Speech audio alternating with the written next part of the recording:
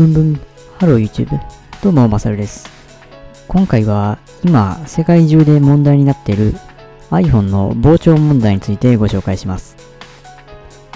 この問題は iPhone のシリーズの中でも iPhone 8 Plus のみに起こっている問題で、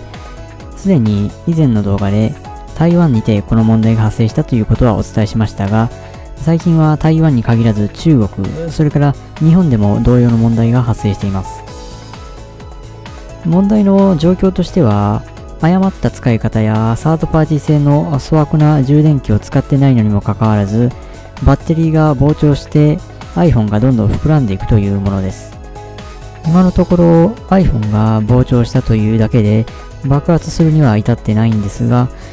このまま同様の事故が多発すると中には爆発に至るものが発生すると思います。不具合が発生した場合、Apple Store 等に持ち込むと必ず交換してくれますので、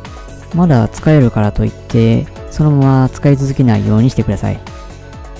日本で発生したケースでは iPhone 購入直後の状態ですでに膨らんでいたそうですので、これから iPhone 8 Plus を購入するという方は、まず購入直後の状態で少しでもディスプレイが浮き上がってたりしたらすぐに返品することをお勧めします。